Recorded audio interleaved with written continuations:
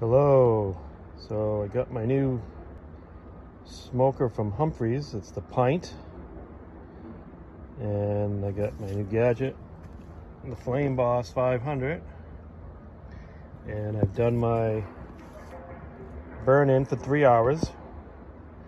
And I said, well, while I got it hot, might as well cook the meat for tomorrow. So we have a wedding we're doing, family wedding that we're catering ourselves.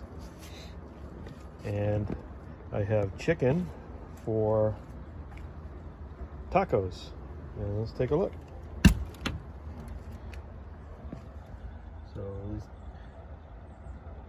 two trays of chicken look nice.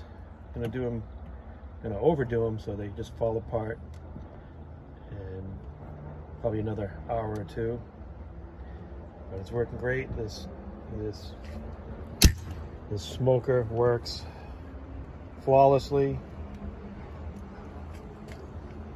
It, it stays steady. Never have to really touch it. Fan down there works really well, and the app on the on the Flame Boss works great. I could go in the house and not worry about it. So that's all. Thank you.